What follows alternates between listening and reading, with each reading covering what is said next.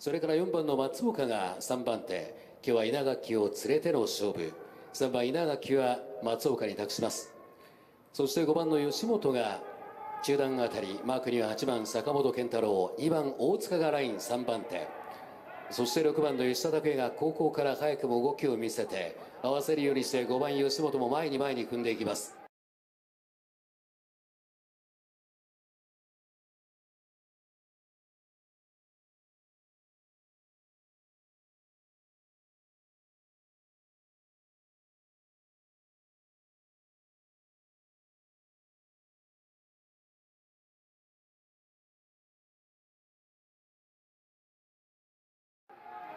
さあ6番の吉田拓也。どうでしょう？このまま抑え込もうというところか。ここは叩いていけないか？吉本が突っ張るか？吉本は中段キープ。それから4番松岡が3番手から叩いていきます。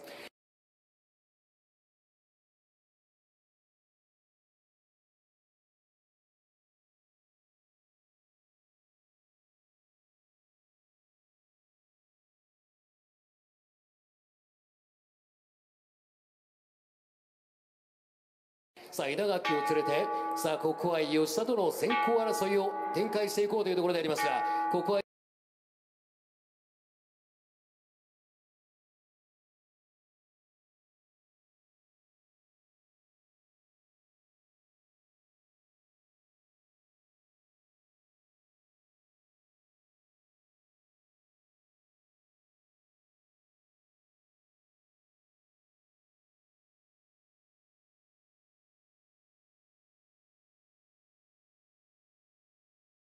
一旦見切りをつけるような格好が迎え入れるか3番の稲垣は迎え入れたいところでありますが4番松岡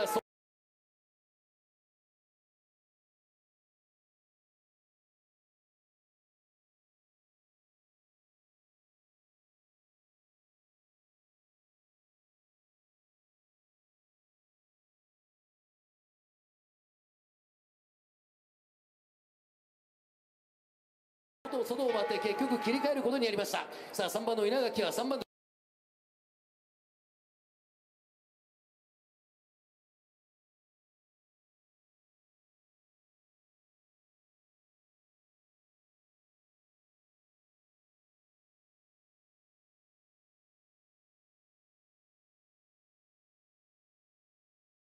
あとは1番の近藤がさあ準決勝の再現になるかどうかまくっていきました。さあ1番近藤の枠に合わせるようにして3番稲垣も発進していく。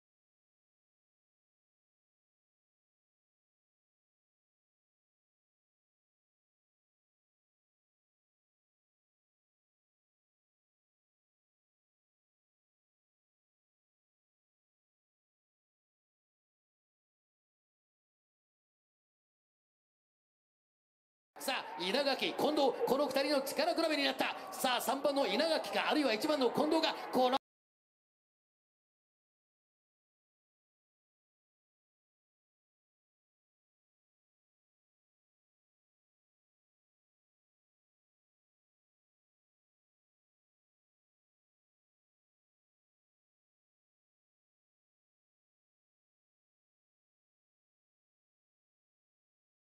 あたりが合わせ切った3番の稲垣が完全に出た。あとは後方から7番の山川がやってくる。さあゴール前3番の稲垣粘った。やはり主役はこの人。SA さんの意地を見せました。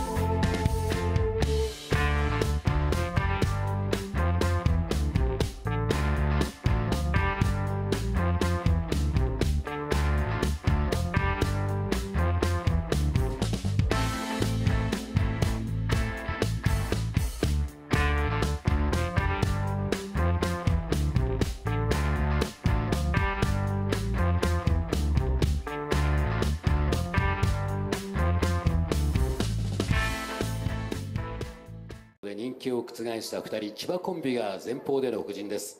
それから4番の松岡が3番手。今日は稲垣を連れての勝負。3番稲垣は松岡に託します。そして5番の吉本が中段あたりマークには8番坂本健太郎。2番大塚がライン3番手。